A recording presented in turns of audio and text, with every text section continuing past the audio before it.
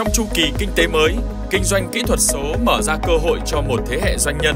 Việc kết nối tương tác với đối tác không hạn chế địa điểm, thời gian làm cho mô hình kinh doanh kỹ thuật số trở nên toàn cầu hóa, linh hoạt hơn bao giờ hết. Với mục tiêu hỗ trợ một thế hệ doanh nhân kỹ thuật số khởi nghiệp và kinh doanh tinh gọn hiệu quả,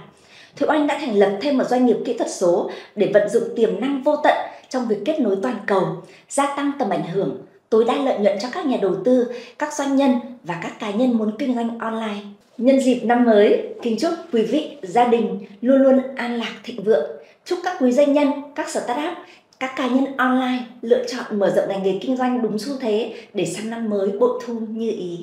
Kinh doanh kỹ thuật số không chỉ là xu hướng mà là một cơ hội lớn để các doanh nhân,